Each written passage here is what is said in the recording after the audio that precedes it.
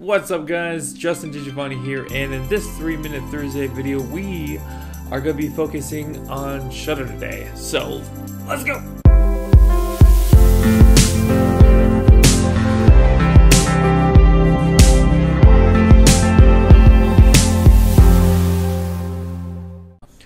Alright, so welcome back from the intro. Uh, there's a lot of great opportunities when you're controlling your shutter you could basically just like set the mood. You could be, you could tell a story, and it's all about your imagination. So, let's put three minutes on the clock. let's go. So let's start out with a fast shutter. It freezes the action. It shows the power of the image, um, depending on what you're photographing.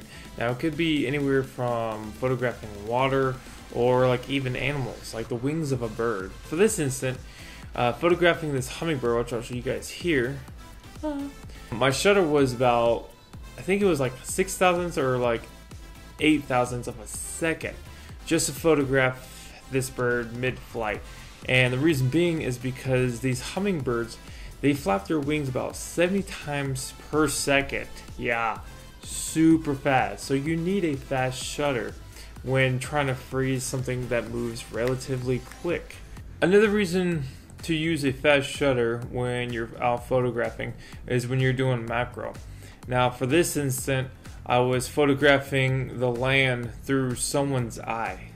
Yes, uh, I had my macro lens out and I was essentially photographing a the reflection of a tree in someone's eye, like right in the pupil, which I'll show you guys here.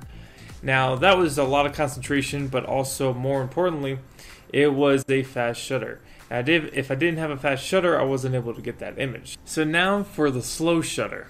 This is where your imagination kind of lets loose a little bit you're essentially blurring different sections into the images. You're you're kind of showing like more motion um, to the photograph. Like when you're doing a waterfall. Good example is when I went to Ohio and there was a waterfall coming off of a cliff into a little tide pool.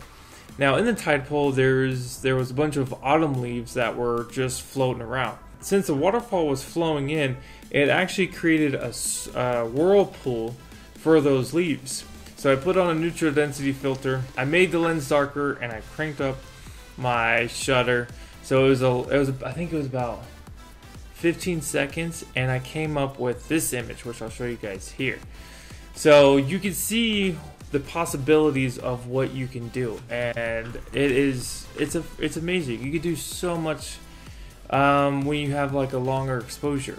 And one of the things that you could also do, uh, this is big time with nighttime photography, is you could see more in the night sky. So if you're outside photographing the Milky Way, you could crank up your uh, your shutter up to like 30 seconds.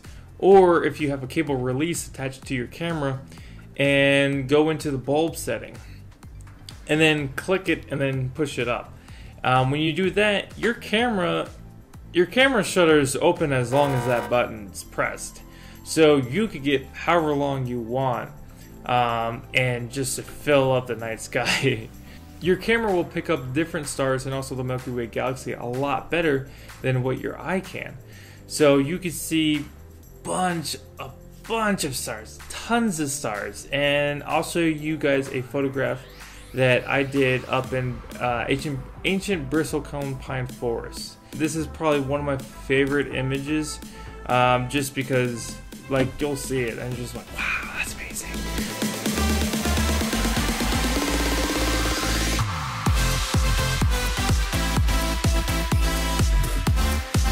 So I photographed this tree that was like 5,000 years old.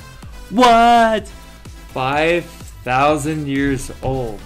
4,600 years ago, uh, writing is developed in the summer of Egypt. Yes, this is how that all that is. Just to kind of give you a mindset of like timeline wise. Didn't make it, but I had a lot of like information to kind of get out there and you know try to help you guys out. So, uh, whoopsies. Alright, so that's it for this time being. I hope you enjoyed it.